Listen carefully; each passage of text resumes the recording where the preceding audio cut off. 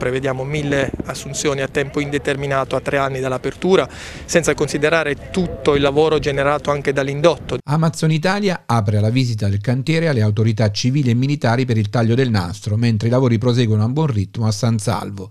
Il 2022 è dietro l'angolo. A diversi mesi dall'inizio della trasformazione di quello che una volta era l'autoporto, L'amministratore delegato di Amazon Italia Logistica, Salvatore Schembri Volpe, fa gli onori di casa al prefetto Armando Forgione, al sindaco Tiziana Magnacca, al presidente della regione Marco Marsilio e al questore Annino Gargano.